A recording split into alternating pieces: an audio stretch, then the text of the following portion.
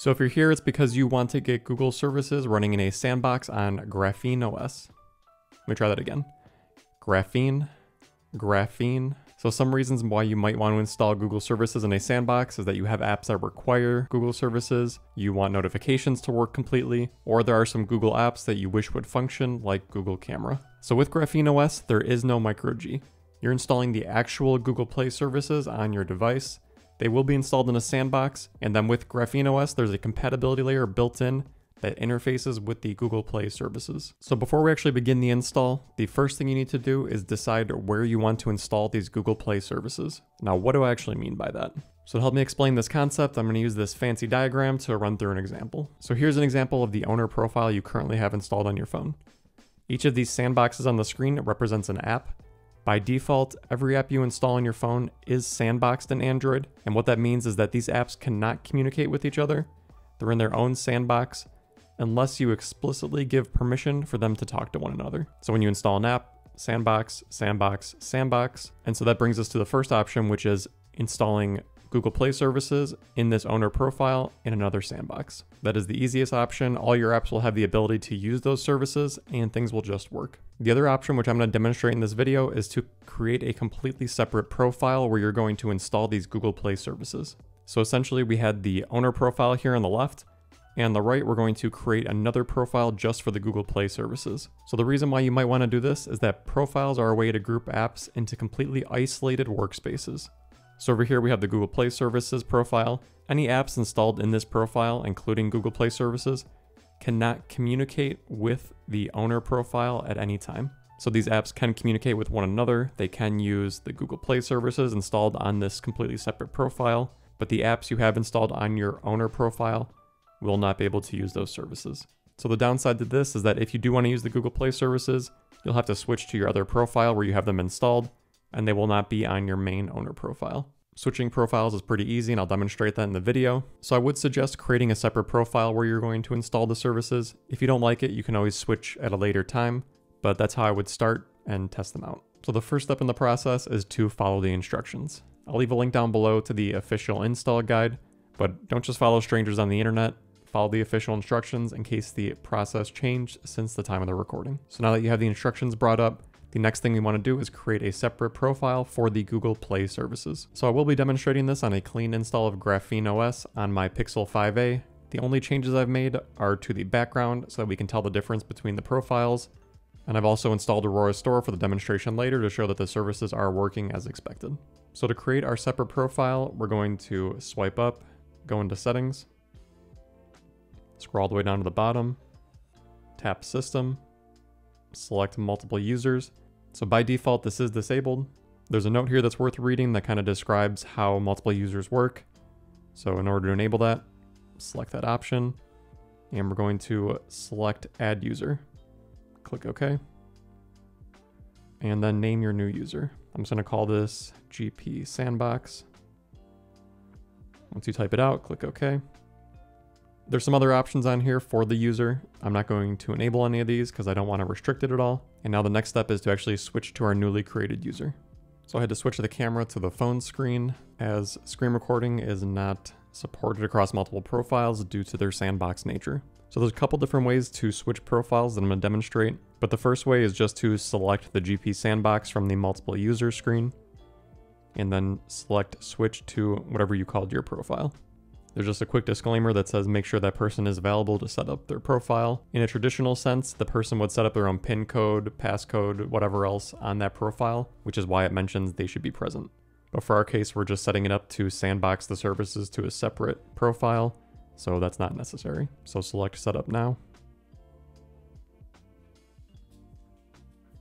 So you might notice a new option you see down here. We can see end session. That's for the separate profile that we're on. We're going to swipe up.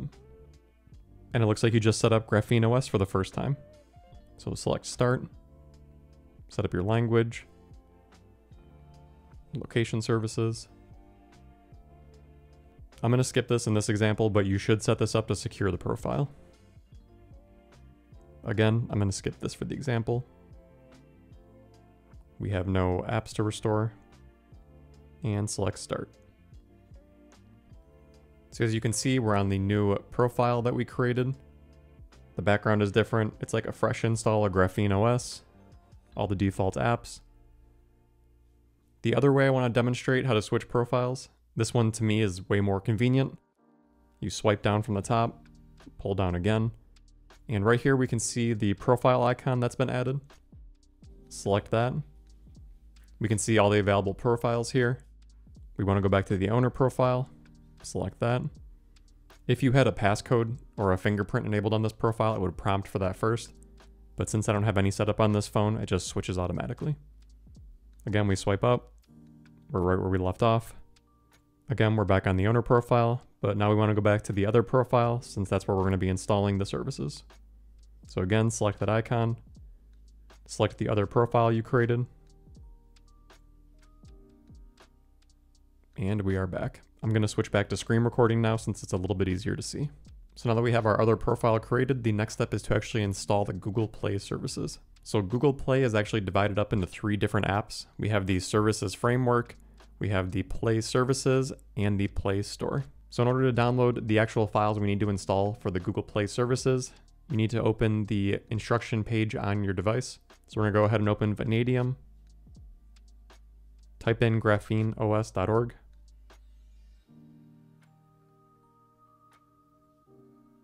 Once you get here, slide over and select usage. Scroll down and select Sandboxed Google Play. Scroll down a bit until you get to the installation section where you can see the three links to the actual APKs. So for the first one, we're going to select com.google.android.gsf. On this page, select the 31 slash directory.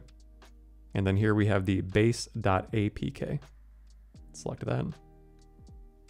Download.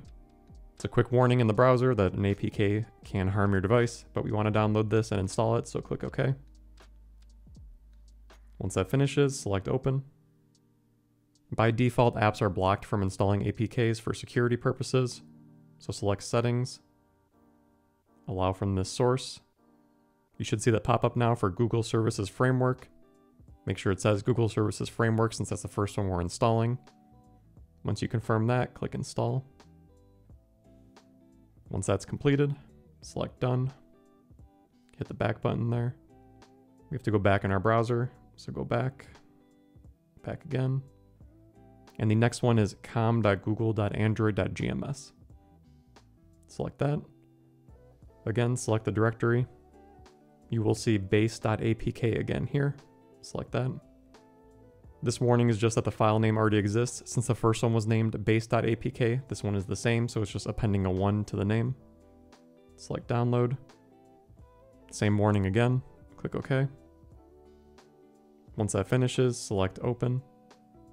This one is for Google Play services. Once you confirm it says that, select install. This file is a little bit larger, so this one will take a little bit longer to install.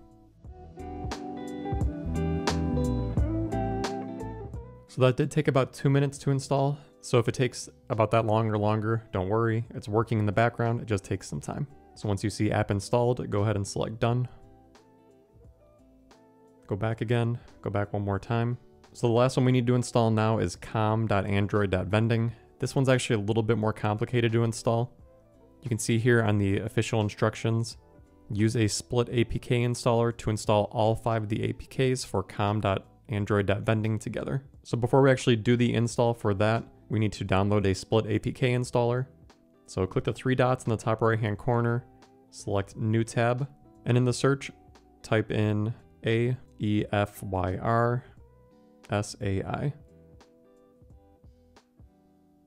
Again, I'll leave a link down below in the description for you to reference in case you just want to type it manually in your browser and not go through a search engine.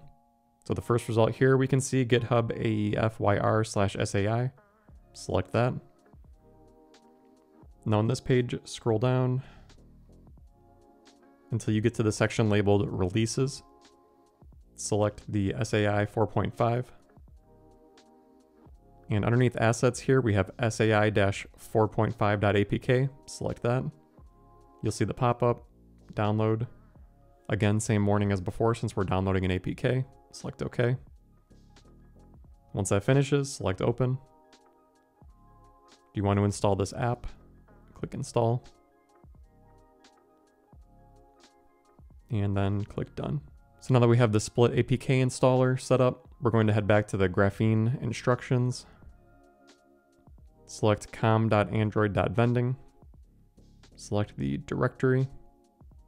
And now we need to download the five APKs in this folder. So the first one, select the base.apk. Again, this file already exists, so it's going to append the number 2 to it. You're going to need to remember this later because we're going to have to select this APK inside the split APK installer. I'll mention that again just so you don't forget. Select download. Once that finishes, select the next one. Download. Each time you'll get the warning that you're downloading APKs that can be harmful. Select download.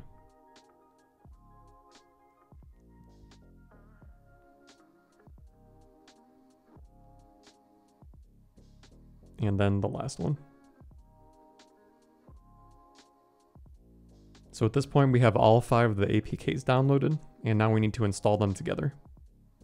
So to do that, swipe up to go to your home screen. Swipe up again.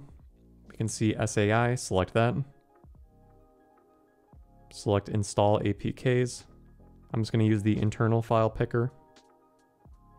You have to allow it to access the files on your device because we downloaded files. Select allow. On this page, you'll have a list of the folders on your device. We're going to select download because that's where the Vanadium browser downloads go to. And as I mentioned earlier, since we downloaded three different base.apks, we want the most recent one, which is base with the number 2 APK. Select that. You can also confirm because the timestamp is the most recent one compared to the other two. And then lastly, we need to select the other four APKs that we downloaded from grapheneos.org. So this first one here, SAI, that's the split APK installer. We don't want to select that.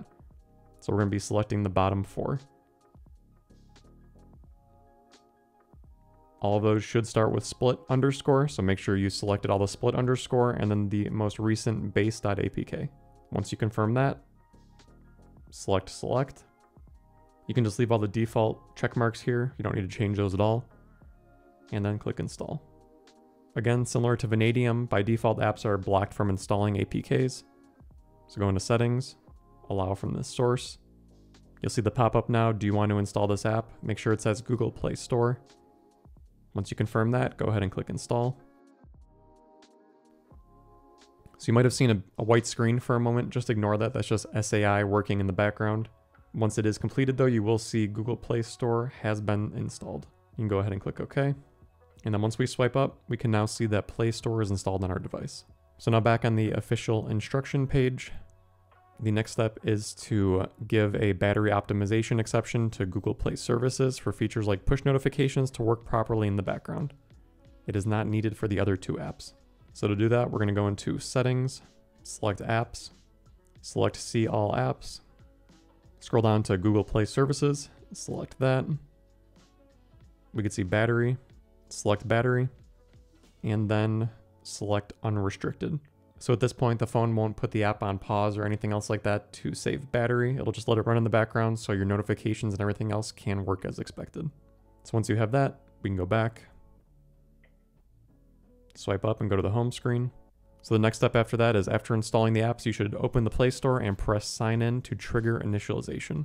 So signing in to the actual Play Store is optional, but if you want to use apps that you've purchased in the past, you will need to sign in. So like the instructions say, select Play Store, press sign in.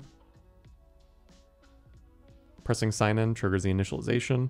Like I said before, signing in is optional, so I'm not going to sign in. Swipe up to close that.